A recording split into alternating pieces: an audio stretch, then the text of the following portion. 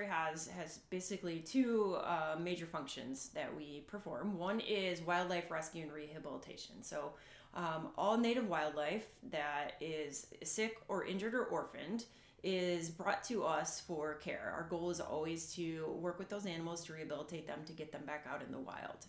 Um, our other core platform is education, which is used to um, sort of assist the rehabilitation side. And our goal with the education is to teach people how to coexist uh, with the animals in their own backyards, as well as how to protect the habitats that those animals live in. You know, when you're working for a nonprofit, everyone that's here, it, nobody here is working for the money. They're working for the passion and the love and the the in personal investment that they have in the mission and what we do. So with that comes just a great amount of folks, um, both the staff and the volunteers, that always go the extra mile. I mean, rarely does anybody not want to do the extra things that is needed for the job, including long hours and really hard conditions with you know a lot of compassion fatigue. There's there's some really long days that um, don't always go as you as you would want, and um, you know there's there's emotions involved, and it I, I think it's a very supportive environment where everybody really tries to help each other through those days. So this is Harrison. He's one of our ambassadors, and he actually was a falconer's bird that uh, came from the, I guess it was the Virginia area. So he has a partial wing amputation, and he cannot fly. So the falconer was not interested in keeping him anymore, and they turned him over to the Wildlife Center of Virginia, and there they uh, only keep native raptors, I guess, for education. So they weren't interested, and we kind of adopted him. So we drove down and picked him up and had a little road trip back here.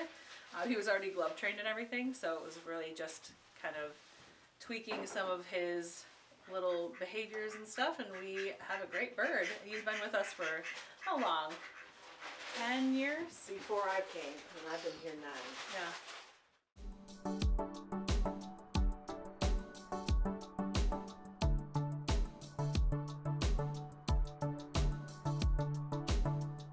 Um, we have about 100 volunteers on our roster, and uh, the job roles vary a little bit. Some of them come in one day a week and they help clean and um, provide the dietary needs for the animals.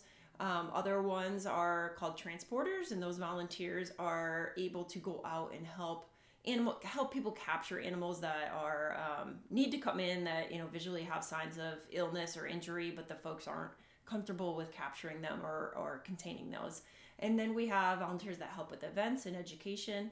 Um, we also have we also have a huge internship program where we um, help people that are interested in the field learn more about what we do. Nature's Nursery is completely funded by donations and grants and various events and fundraisers. So um, even you know five five dollars a month donation reoccurring helps us a lot. Um, you know other things they can do is provide in kind donations such as as supplies. Um, if they're not able to volunteer here on site, we have often projects that we need done out in the community, or um, you know, if it's not an ongoing thing that they're able to do, we have volunteer opportunities on a project basis where they can come in for a weekend and help out.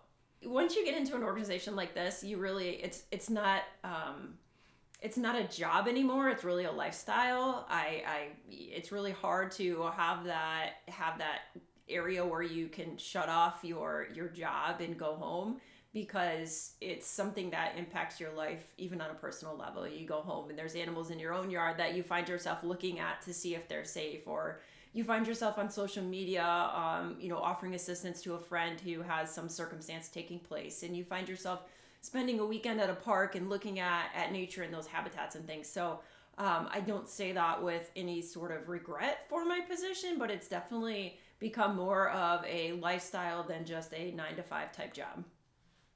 I love that every day is a new opportunity to learn something. There's not a day that goes by that I'm not learning something new about um, either our donors and supporters, the people in our community who have an affinity for what we do, or what we actually do here from the animal care side. With my background not being in animal care, it's just really mind blowing what we are capable of doing for these animals to take care of them.